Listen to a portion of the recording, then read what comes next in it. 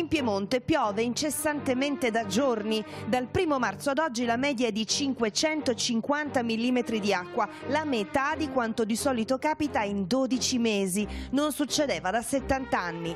Vuol dire che il problema siccità è risolto? Ma in realtà il problema rimane perché eh, questa neve che abbiamo in montagna e soprattutto la pioggia finirà in mare e non è trattenuta dai, dal, da nessuna opera. Meno del 10% viene oggi raccolta e tutto il resto eh, no.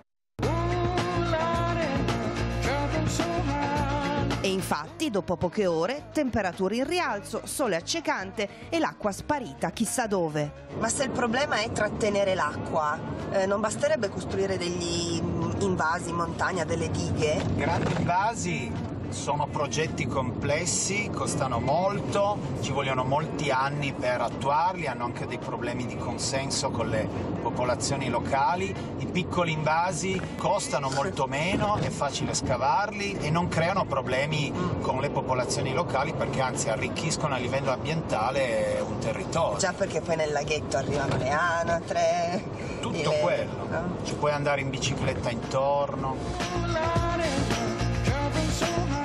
Conoscere allora chi ha imparato a trattenere l'acqua. La famiglia di Giorgia alleva tinche da generazioni e i laghetti per i pesci hanno salvato il suo raccolto. Esattamente, questo laghetto per noi è stata veramente una salvezza, specialmente l'anno scorso che c'era una grandissima siccità.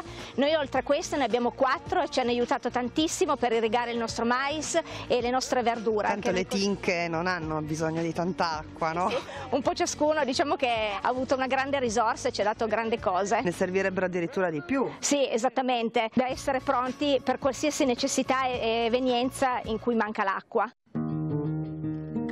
La mancanza d'acqua per il Piemonte è una novità. In tutta la provincia di Torino c'è solo un invaso condiviso per l'agricoltura. Serve 50 aziende, tra cui quella di Fabio. Sì, per fortuna con le ultime piogge è salito di quasi 3 metri, ma fino a un mese fa era ai livelli minimi.